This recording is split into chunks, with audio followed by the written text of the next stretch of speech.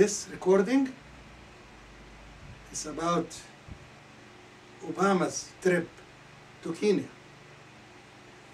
هذه الرسالة القصيرة في الفيديو. بدي أتكلم عن الرئيس أوباما ورحلته إلى إلى كينيا مشان يعني يعيد ذكرياته عن والده. رحمة الله عليه. أنا الشيء اللي بذكره أنا الآن كتبته اليوم باللغة الإنجليزية في عدة في عدة آه، مواضع بالإنترنت بالياهو والجوجل والجزيرة أمريكا. طبعا باللغة الإنجليزية وهذا باللغة العربية. أنا في عندي تعليق على هذه الزيارة. أول شيء أنا عندما ساعدت الرئيس أوباما لأول مرة في الانتخابات في تكساس وفي بعض الولايات كان متنازع عليها وكانت مساعدة قيمة جدا. هذا الكلام كان في شهر في شهر شباط وآذار 2008 عندما كان لسه يزال آه، مرشح فقط. وكله مذكور بالتفصيل وأنا ذكرت عن والده لأنه والده كان الصحافة والإعلام هنا في أمريكا وخاصة اليمين شوهوا آه، أبوه.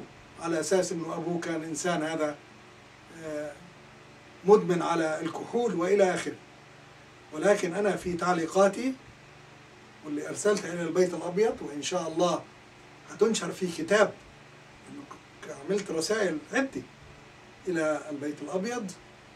بعضها وصل وبعضها لا يزال في الكمبيوتر حيطبع. أنا ذكرت إنه أبوه بالعكس أبوه كان رجل ذكي طموح وكان من الصعب جدا إنه واحد مسلم يروح يأخذ آه، عبارة عن آه، بعثة إلى الولايات المتحدة وفي هاواي في الخمسينات من القرن الماضي. إذا ما كان مسيحي. لأنه الكنائس اللي كانت تبشر بالمسيحية وما تدخل عندهم بالمدارس إلا يكون مسيحية وإلى آخره كانت تبعث جماعتهم فقط. فأبوه يكون مسلم ويروح إلى هاواي ويكون رجل يعني يأخذ بعثه هناك. هذا شيء ما كان سهل ابدا كان صعب جدا. وأهم من ذلك إنه حاول يكسب عطف امرأة بيضاء جميلة جدا اللي هي كانت أم الرئيس أوباما. هذا الكلام في الخمسينات أيام ما كان التمييز العنصري وما يمكن واحد بيضاء بيضاء تتزوج واحد أسود. مستحيل. ولكن هي تزوجته. مما يدل إنه إنسان يسموه كان تشارمينج يعني حظي على قلبها وتزوجها وجاء من هذه الثمرة اللي هو الرئيس أوباما. هذا ذكرته أنا.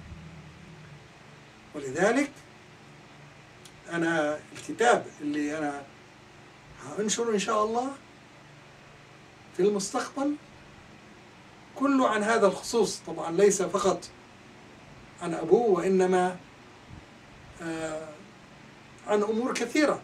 لأني أنا كنت بعمل ال campaign له بساعده في تكساس وإلى آخره. و وكنت أتصور بأنه الرئيس أوباما هو اللي حينجح في الانتخابات. وهذا الشيء كله موضح في البرنامج في في ال website بتاعي المدونة دكتور سعيد dot net والرسائل الموجودة كثير منها في ال website وبعدين في الفيسبوك. أبين هذا الشيء. لأنه أنا كان بالنسبة لي الرئيس أوباما وخطابه إلى العالم العربي والإسلامي من جامعة القاهرة. 80% مما قاله هي من رسائل بعت له إياها أنا. وممكن تدخلوا فيها وتطلعوا عليها. أنا كنت أتمنى أني أكون أنا إلى آه، مبعوث إلى الرئيس أوباما إلى العالم الإسلامي ما كان قصدي إنه أنا مجرد أوصل إلى مركز وخلاص. كان بهمني أنا إنه العلاقات تكون طيبة ما بين الولايات المتحدة الأمريكية والعالم العربي والإسلامي كأنه أنا بالنسبة لي العدو اللدود هي الصهيونية وهي إسرائيل وهي التي ورطت الولايات المتحدة في كل المشاكل اللي صارت وخاصة بالعراق وإلى آخره. والآن بدهم يحاولوا يورطوها مع إيران. أنا شخصيا ضد إيران من ناحية تدخلها في في اليمن تدخلها في العراق تدخلها في مع هذا الدكتور المجرم بشار الأسد أنا ضدها. ولكن إذا تعمل سلاح نووي تعمل سلاح نووي. فيش مانع. لأنه أنا قلت إنه ما دامت إسرائيل عندها سلاح نووي فيحق إلى أي دولة في الشرق الأوسط بما فيهم الفلسطينيين يكسبوا السلاح النووي حتى إنه إسرائيل تخضع زي الآخرين. ولذلك أنا طالبت إنه الشرق الأوسط يكون خالي من الأسلحة النووية. والبيولوجية والأمريكية. وهذا القرار أنا قدمته إلى الحزب الديمقراطي في ولاية واشنطن. تاريخه في شهر ستة 1990 ممكن تطلعوا عليه أنتم. ومر هذا القرار من قبل أعضاء الحزب الديمقراطي في الولاية كلها. إنه الشرق الأوسط يكون خالي من الأسلحة الكيماوية والبيولوجية والنووية بما فيها إسرائيل. هذا الشيء مهم جدا. ولذلك لا تركزوا على من ناحية النووي وإلى آخره.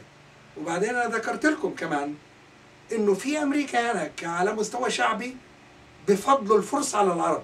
هذا شيء واضح. ليش؟ لأنه ما عايزين أي شيء بالعرب. هذول خاصة الصهاينة اليهود والصهاينة من المسيحيين. هذول الصهاينة من أجمل من, أسوأ ما يمكن هذول هذول ما عايزين أي شيء اسمه عربي ولا إسلامي ولا فلسطيني ولا حاجي. ولذلك بفضلوا إنه يكون الفرس هم أصدقائه وإلى آخره. على كل حال أنا حبيت أبين هاي الأمور وإن شاء الله أبقى الاتصال معكم والسلام عليكم ورحمة الله وبركاته. وأنا في خلال هذا الأسبوع سأرسل رسالة إلى البيت الأبيض وخاصة في صحفية الآن عينت من أول شهر أبريل يعني بعد بعد يوم أو يومين.